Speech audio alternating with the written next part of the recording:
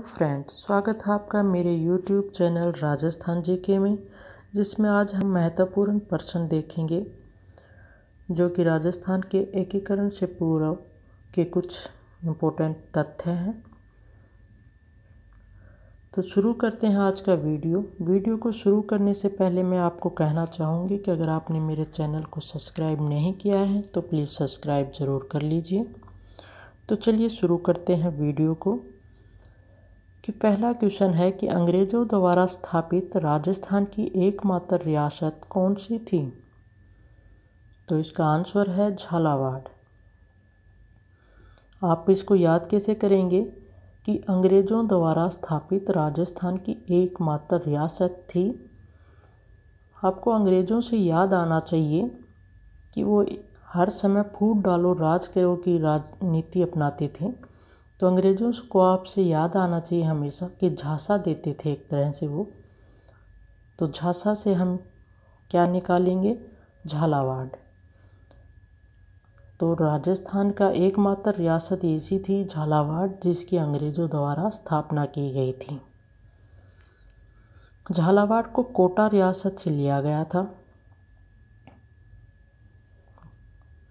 आगे देखते हैं कि अंडोमान। राजस्थान को अंडोमान, जैसलमेर को कहा जाता था। यह सबसे पिछड़ी रियासत भी थी। तो क्वेश्चन अगर आए कि राजस्थान का अंडोमान कौन था, या ये क्वेश्चन आए कि सबसे पिछड़ी रियासत कौन सी थी तो सीधा सा आंसर है जैसलमेर। कैसे याद रखेंगे इसको कि भाई जैसलमेर में थार मरुस्थल बहुत ज़्यादा मात्रा में है। एक तरह से पसरा हुआ पूरा जैसलमेर में। तो सीधी सी बात है, पिछड़ी हुई रियासत कहलाएगी। तो इस प्रकार से हम जैसलमेर को याद कर सकते हैं कि वो पिछड़ी हुई रियासत क्यों माना जाता था? कि थार मरुस्थल भाई पसरा हुआ है, उसमें कुछ भी सुख सुविधाएँ नहीं है, रेत ही रेत है। तो पिछड़ी रियासत कहलाता था। नेक्स्ट देखते हैं।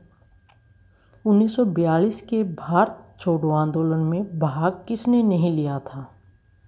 राजस्थान की दो रियासतें ऐसी थी जिन्होंने भारत छोड़ो आंदोलन में भाग नहीं लिया था। तो वो कौन सी थी? जयपुर और जैसलमेर। इनको याद कैसे करेंगे?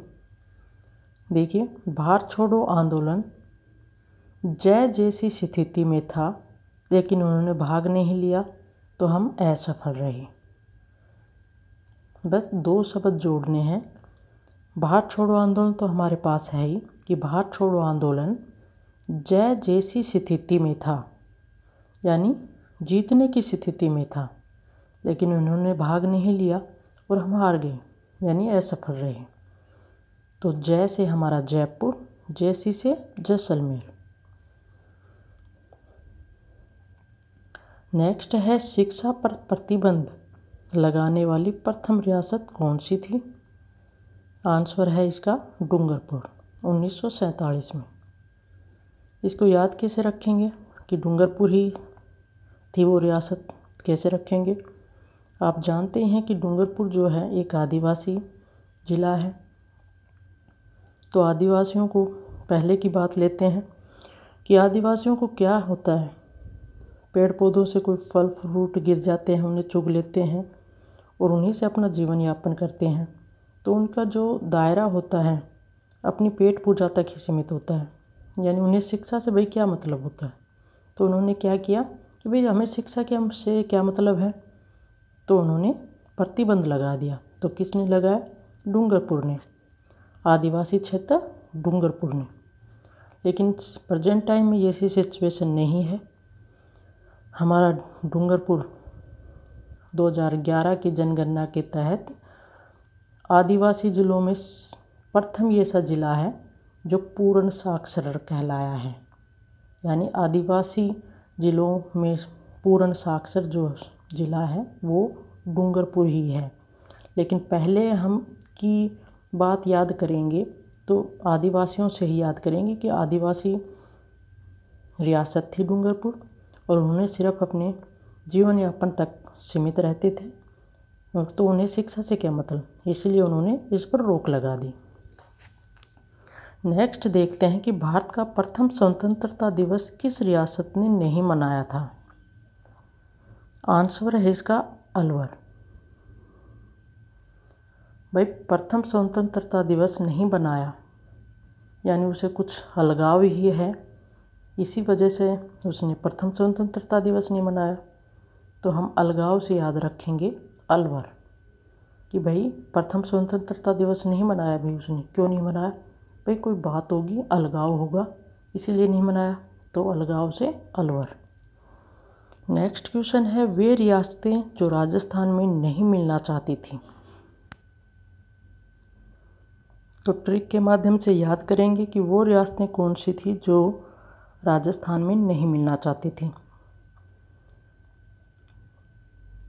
तो ट्रिक है, डूंगर भर जो और धो, टोका टाकी मत कर। डूंगर यहाँ पर किसी लड़के का नाम है। तो कह रहा है कि डूंगर भर जो और धो, टोका टाकी मत कर। यानी अपना कार्य कर जोओं को भर और उन्हें धो। टोका टाकी मत कर यानी आनाकानी मत कर तू सिर्फ़ भर जो और धो टोका टाकी मत कर तो ये रियासतें हो गई हमारी छः जो हमारे राजस्थान में विलय नहीं होना चाहती थी डूंगर से हमारा डूंगरपुर भर से भरतपुर जो से जोधपुर और से हम अलवर लेंगे पहले ही बता चुकी हूँ आपको कि अलगाव था इसका, इसीलिए इसने प्रथम स्वतंत्रता दिवस भी नहीं बनाया तो ऐसे हमारा अजमेर नहीं बनेगा तो दूसरा ऐ सिर्फ़ अलवर, यानी अलवर आएगा यहाँ पर, और धो से धौलपुर, टोक से टोका से टोक। मेरे ख्याल से ये क्लियर हो गया होगा आपको। ट्रिक है कि जो रियासतें राजस्थान में नहीं मिलना चाहती थी। उसकी ट्रिक है, डूंगर भर जो और धो टोका टाकी मत कर। नेक्स्ट क्वेश्चन है कि वे रियासतें जो एकीकरण के समय पाकिस्तान में मिलना चाहती थी। ऐसी रियासतें भी थी जो हमारे देश के राज्यों में तो मिलना नहीं चाहती थी, पाकिस्तान में ही जाना चाहती थी, वो कौन सी थी? आंसर है जोधपुर और टोक। याद कैसे रखेंगे इसको? पाकिस्तान को लीजिए कि पाकिस्तान जो है, हमेशा टोका टाकी करता है। पाकिस्तान जो हमेशा टोकता रहता है भारत को। यानी अच्छी बात तो कोई बोलता ही नहीं भारत के प्रति। तो कैसे करेंगे? पाकिस्तान जो टोकता रहता है तो इसी से हम लेंगे कि जो पाकिस्तान में जाना चाहते थे वो थे जो तुपुर और टोक, यानी पाकिस्तान जो टोकता रहता है। पाकिस्तान जो टोकता रहता है। ये राजस्थान के जिन थे रियासतें थी, जोधपुर और टोक, जो पाकिस्तान में जाना चाहती थी। नेक्स्ट है, मैं अपने डेथ वारंट वारंट पर हस्ताक्षर कर रहा हूँ। किसने कहा? इसका आंसर है चंद्रवीर सिंह ने, जो कि बांसवाड़ा के थे। इसको याद कैसे रखेंगे? कि भाई राजस्थान का एकीकरण चल रहा है, रियासतों का विलय किया जा रहा है तो उस पर, उसमें अच्छा ही कार्य हो रहा है एक तरह से। देश का एकीकरण हो रहा है, अपने राज्य का एकीकरण हो रहा है, लेकिन उसमें एक तरह से रोड़ा अटका रही है, अटकाया जा रहा है, यानी बाँस का डंडा दे रहे हैं कि ये ले, नहीं होने दूँगा। और जब हस्ताक्षर कर भी रहे हैं तो कह रहे हैं कि मैं डेथ वारंट पर हस्ताक्षर कर रहा हूँ। यानी उसमें भी अपनी वीरता बता रहे हैं। तो इससे मतलब क्या निकलेगा कि एकीकरण हो रहा है, उसमें हम रोड़ा अटका रहे हैं। बाँस का डंडा दे रहे हैं कि बाँसवाड़ा, बाँस के डंडे से बाँसवाड़ा। और एकीकरण एक अच्छा कार्य हो रहा है, उसमें भी हम जब विलय पर हस्ताक्षर कर रहे हैं, उसमें भी कह रहे हैं कि मैं अपने डेथ वारंट पर गर्व से कह रहे हैं कि मैं अपने डेथ वारंट पर हस्ताक्षर कर रहा हूँ। तो ये यानी अपने आप में वीर कहला रहे हैं। तो इससे होगा चंद्रवीर सिंह। ये सिर्फ़ याद करने का एक तरीका है। कोई सीरियसली मत लेना। मैं किसी की भावनाओं को ठेस पहुंचाना नहीं चाहती हूँ। ये सिर्फ़ याद करने का एक तरीका बता रही हूँ। क्योंकि क्वेश्चन जब एग्ज़ाम में आते हो ना तो ऑप्शन ये से दिए जाते हैं मिलते जुलते और अक्सर गलत हो जाते हैं। इसीलिए सिर्फ़ याद करने का तरीका है ये, कोई सीरियसली मत लेना। नेक्स्ट दे, देखते हैं। क्या है नेक्स्ट रियासती विलय पत्र पर हस्ताक्षर करने वाली प्रथम रियासत कौन सी थी? आंसर है बीकानेर। शार्दुल सिंह ने 7 अगस्त 1947 में इस पर हस्ताक्षर कर दिए। रियासती विलय पत्र पर हस्ताक्षर करने वाली प्रथम रियासत बीकानेर। कैसे याद रखेंगे इसको? कोई भाई अच्छी चीज़ है। हमारा एकीकरण हो रहा है राजस्थान का। तो अच्छी चीज़ है ये, एक तरह से अच्छा ही कार्य हो रहा है। तो उसमें जब कोई अच्छी चीज़ होती है तो वो सबसे पहले बिकती है। देखा ही होगा, कोई भी अच्छी चीज़ है, हम मार्केट में जाते हैं कोई चीज़ खरीदते हैं तो हम अच्छी अच्छी देख कर खरीदते हैं। तो रियासती विलय पत्र पर जो हस्ताक्षर हो रहे हैं, एकीकरण हो रहा है तो एक अच्छा ही कार्य है ये। तो अच्छे कार्य में सबसे पहले क्या बिके? अच्छा चीज़ बिकी है तो बिका। पहले क्या बिका? अच्छी चीज़ बिकी? बिका से हम लेंगे बीकानेर। शार्दुल सिंह ने हस्ताक्षर किए इस पर, सात अगस्त उन्नीस सौ सैंतालीस को। और ये रियासती स्था रियासती विभाग की स्थापना कब हुई थी? ये भी याद रख लीजिए आप। पाँच जुलाई उन्नीस सौ सैंतालीस को इसकी स्थापना हुई थी और सर्वप्रथम बीकानेर ने हस्ताक्षर किए थे।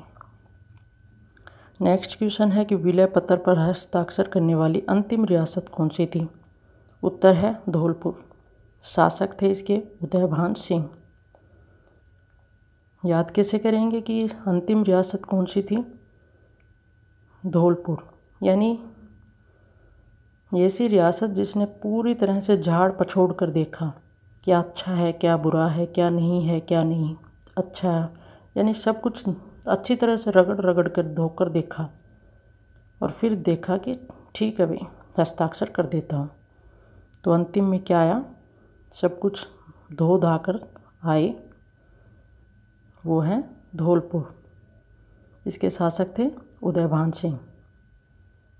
उदयभान सिंह ने चौदह अगस्त को, चौदह अगस्त उन्नीस सौ सैंतालीस को हस्ताक्षर कर दिए। चौदह अगस्त उन्नीस सौ सैंतालीस को हस्ताक्षर कर दिए, यानी बीकानेर के से सात दिन बाद। तो फ्रेंड्स, आज के वीडियो में इतना ही। उम्मीद है आपको मेरी ये ट्रिक आपको समझ आ गई होगी। नहीं समझ में आई है तो आप एक बार फिर देख लीजिए इसको। फिर देख लीजिए, आपको समझ आ जाएगी।